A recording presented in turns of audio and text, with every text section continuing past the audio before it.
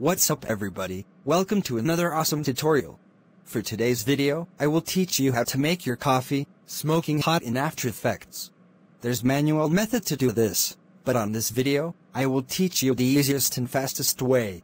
If you're ready, open your After Effects. And let's dive in. Let's drag the coffee in your composition timeline. The coffee should be smoking, otherwise the coffee looks cold, which is not appealing. We can fix that in After Effects. Simply drag the smoke footage in your composition, which I download on Videezy for free. There's tons of free stock footage there. Go back to our composition, right click on the smoke layer. Change the blending mode to screen. Rotate it. Align it on the coffee. Hit the preview, boom. That's it. You can change the opacity to make look more realistic. You can now enjoy your hot coffee. You could also use this for foods like sizzling steak or hot noodles to make it look more delicious. If you like this kind of video tutorial, just hit like and subscribe. I will be teaching you more cool and easy tutorials.